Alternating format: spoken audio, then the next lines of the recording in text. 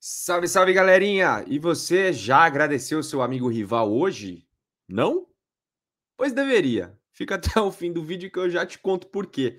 Rapaziada, só queria lembrar vocês que a 1xBet é parceira do canal. Clica aqui no link da descrição que você vai direto para a página de cadastro, faz o seu cadastro, usa o cupom ALVIVERDE para você ganhar o dobro de créditos na sua primeira aposta, na sua primeira recarga, no caso.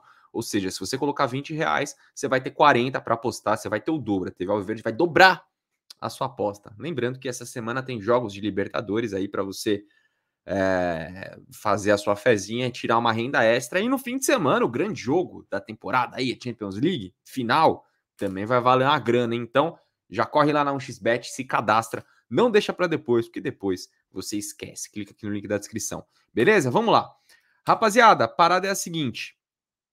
A rodada do Campeonato Brasileiro foi muito boa para gente. Era fundamental que o Palmeiras voltasse a vencer para subir, para se colocar nessa briga pelo título e não podia nem pensar em perder pontos para o Juventude. Tanto é que chegamos lá no Alfredo Jacone, atropelamos e eu vou dizer um negócio para vocês. Eu acho que vai ter rival, eu acho que vai ter time grande tropeçando contra o Juventude. É, apesar do Palmeiras ter feito um jogo muito tranquilo, não é tão fácil assim enfrentar o, o, Juventude, principalmente fora de casa. O Juventude, que hoje é uma das maiores forças do futebol gaúcho, né? E tem feito frente aí para Grêmio e Internacional no campeonato estadual.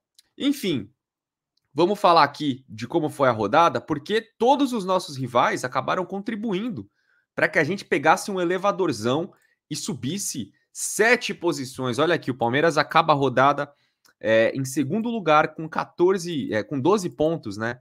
E o Corinthians com 14. Esses dois últimos empates aí do Corinthians e as duas vitórias do Palmeiras colocou a gente lá para cima, né? Então, eu estava preocupado com o nosso início irregular, tava achando aí que, porra, se o Palmeiras continuar perdendo ponto, vai ficar difícil da gente entrar na briga. Mas os outros times também oscilaram e o Palmeiras encostou. E eu fico pensando, olha aqui esses pontos bestas, ó. Isso aqui é derrota besta, cara. O Ceará tem uma vitória no campeonato e é contra a gente. Isso aqui é empate besta. Tá todo mundo ganhando do Goiás. É, isso aqui foi uma ótima vitória. Eu acho que esse jogo contra o Flamengo também foi muito bom, resultado bem justo. Isso aqui foi outro tropeço, cara. Empatar com o Fluminense dentro de casa foi vacilo. Imagina quantos pontos a gente não teria se não tivesse tropeçado ali. A gente já tá liderando esse campeonato com folga, porque ninguém conseguiu disparar. E os rivais também perderam a chance, né? O Corinthians perdeu uma chance grande de abrir uma pontuação em relação a outros times e o Palmeiras está aqui chegando, né? Então vamos lá. O Santos empatou com o Ceará dentro de casa e acabou perdendo aí o seu posto aqui no G4 ou próximo dele. E o São Paulo hoje empatou com o Corinthians. Esse 1 a 1 foi muito bom para a gente. Então estamos a dois pontos da liderança, continuamos à frente do São Paulo. E o Atlético Mineiro também, que teve um início de bastante oscilação, acabou empatando nesse jogo aqui contra o, contra o Red Bull. Foi uma, uma rodada que aconteceu antes. Então, o Palmeiras segue vivão aqui, segue muito bem, obrigado, graças ao tropeço dos nossos rivais. E agora, o Palmeiras enfrenta, olha só, na próxima rodada, o Santos fora de casa. Antes desse jogo contra o Santos, tem jogo contra o Deportivo Tátira pela Libertadores. A gente já está classificado, melhor campanha, tudo mais. Mas o Palmeiras busca o recorde, né? O Palmeiras empatou o número de gols com o River Plate, são 21 gols marcados nessa fase de grupos. Imagino que o Palmeiras vai passar, imagino que pelo menos uma vitória simples venha. E eu acho que esse jogo contra o Tátira é jogo para você poupar, é jogo para você mesclar, porque o Tátira não é um time bom. O Palmeiras pode ganhar mesmo com um time misto. E eu acho que o foco está exatamente na partida contra o Santos. O Santos vem se acertando.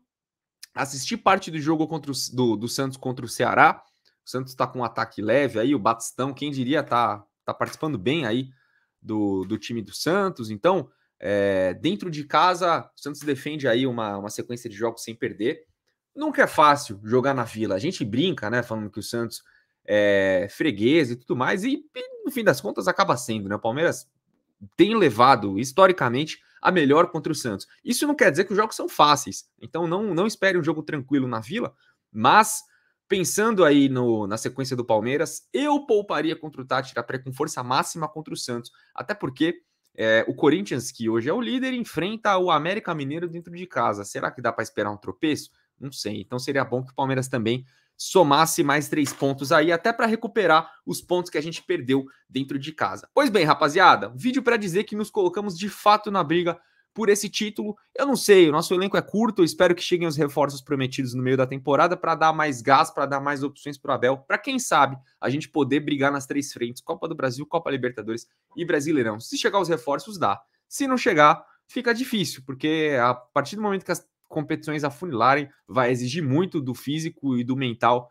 do nosso elenco, que está bem curtinho nesse momento. Enfim, quero saber a sua opinião sobre o vídeo, deixa aqui nos comentários e agradeço o seu rival pela sequência de empates. Tamo junto, um abraço, valeu e fui!